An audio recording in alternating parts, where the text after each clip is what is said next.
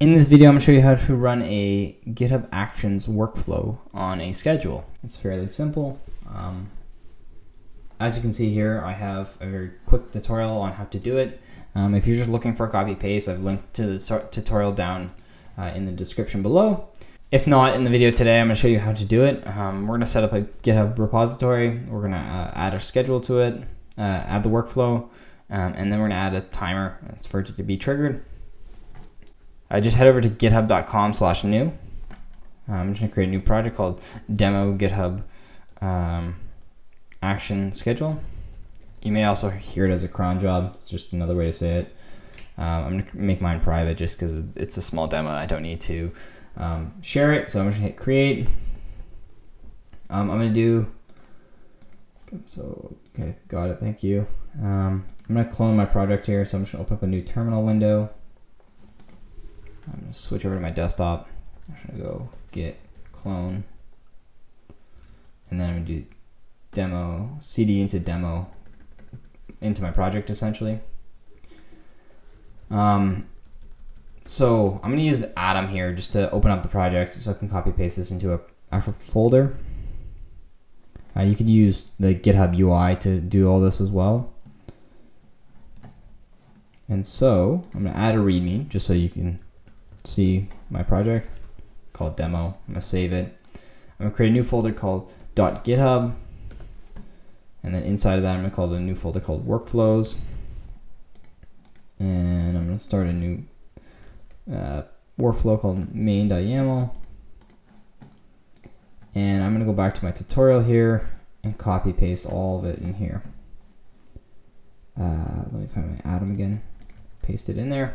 So essentially what I'm gonna say is on the push to master, which is my main branch, um, I should really rename it to be main, but on, on the push to master or on a schedule, and right now this is saying um, at eight o'clock, I think on the first of the month, uh, run my schedule. Let me just double check that.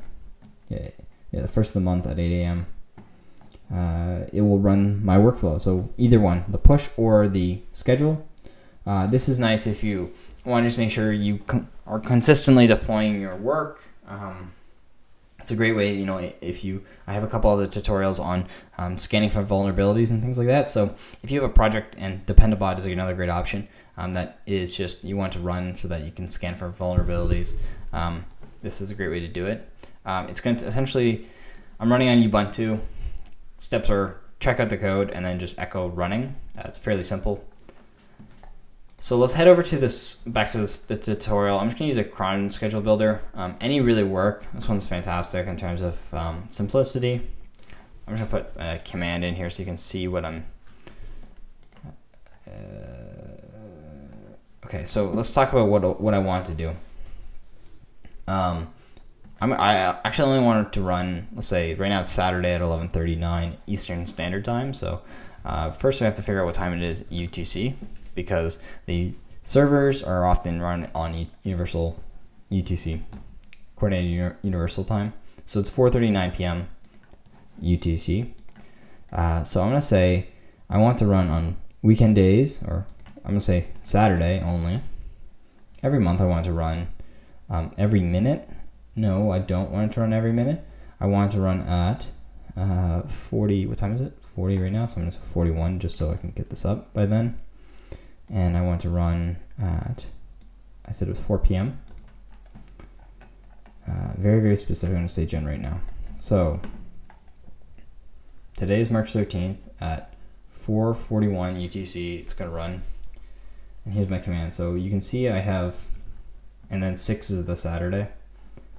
So I'm going to just copy paste this in here. And then I'm to commit this up just before my timer here.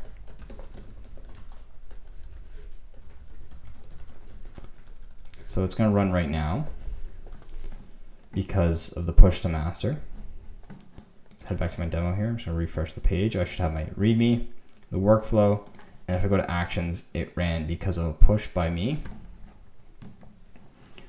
And hopefully that made it in there.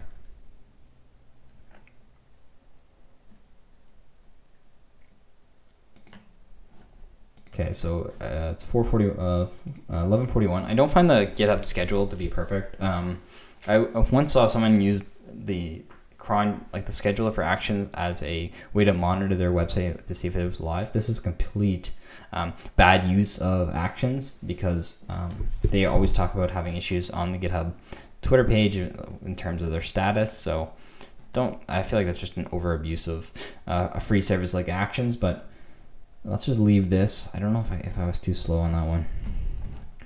You know, let's just run it every five minutes because I can't really. It's, it's gonna be hard to time with. So I'll just say every five minutes. Every hour, every day. Uh, every weekday.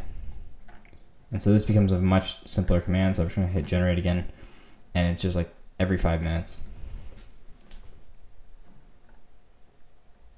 Yeah, and they give you examples. So 45, 50.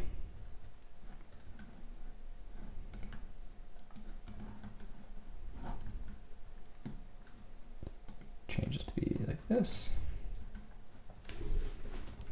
Commit's gonna be updated schedule. Actually, before I commit that in, I'm just gonna just so I know that which schedule is running. I'm just put it number two there. So I can add that to my commit as well.